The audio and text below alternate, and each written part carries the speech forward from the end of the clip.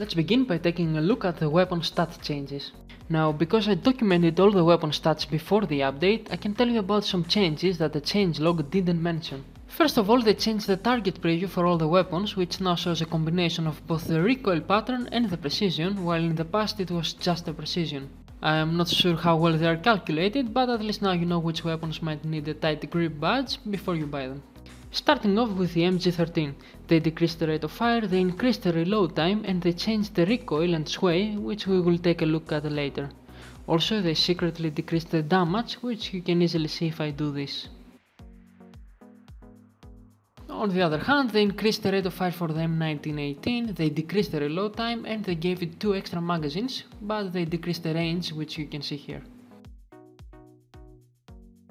They decreased the rate of fire of the AVS, for the M2 carbine they decreased the rate of fire, they increased the damage and range, and they made the recoil easier to control. They decreased the rate of fire and reload time for the Johnson, the rate of fire of the STG-44, they increased the rate of fire of the MG-34, they decreased the magazine size of the M1 and M1A1 carbine, but you can still carry 180 bullets for the same amount of equipment points. A tiny damage increase for the PPD and the single fire mode option, slightly better range on the FG42, and even though the changelog says the PPSH41 has better damage and range, I don't see any difference. The MP34, MP40 and Thompson also received one extra magazine. Moving over in game, we can see that not much has changed in this way when standing with a machine gun. And personally I also didn't notice a big change in this way when walking.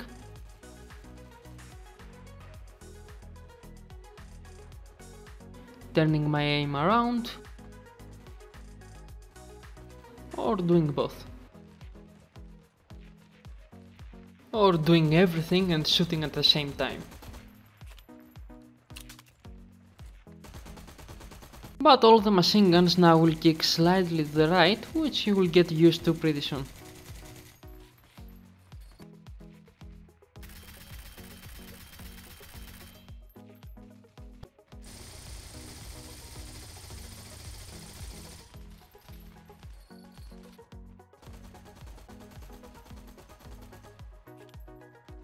Let's see if the hipfire for the SMGs is any different.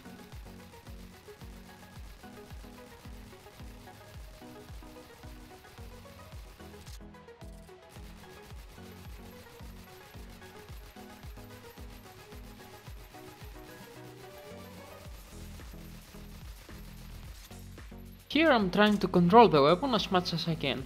To be honest I feel it's easier to hipfire with SMGs now, which is great news. You can also see it since the bullet group is closer together even if I'm further away. Speaking of SMGs, here is the recoil of the M2 carbine.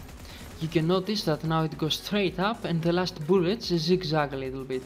I am sorry, but I don't own an AVS or an STG-44 yet, but they should be easier to control because of the reduced rate of fire. Here is the new sights of the M1 carbine. You can see that the rear sight is thicker now, but that's okay since you can equip a scope to this gun. And here are the M1A1 sights just to compare.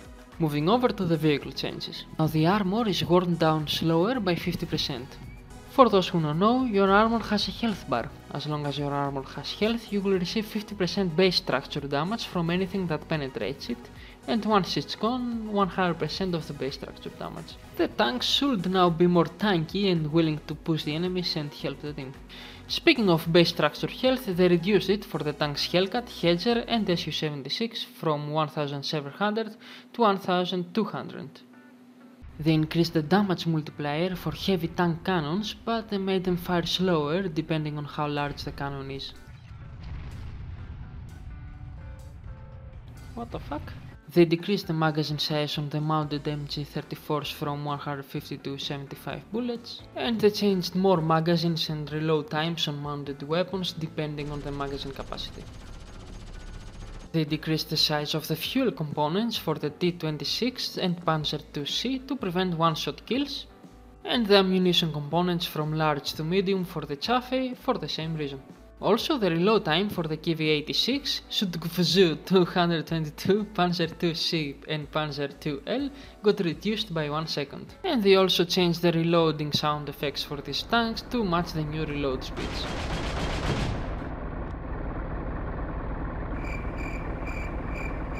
Moving over to the planes, they decrease their health and components health by this much. I will explain this in more detail in a future video cause it will take a lot of time. They change the health bar of the vehicles to the color green to match the health bar of the components. When your health is red, it means you are below 40% health. When the components are red, it means they are destroyed and you need to repair them until they become green to fully work again. The awkward yellow color got removed, so now you know for sure when the component is either broken or healthy. And finally the map changes, the most important of which is that the paved walks on the town map are now lower and you can drive over them a lot more smoothly. Also a lot of floating stuff like railroads, ammo boxes and crates got back to the ground on most of the maps. And that's pretty much it. This was the first attempt from the developers to balance out most of the weapons and make each one better suited for specific situations rather than have one gun that can do everything. We will expect more updates like this soon.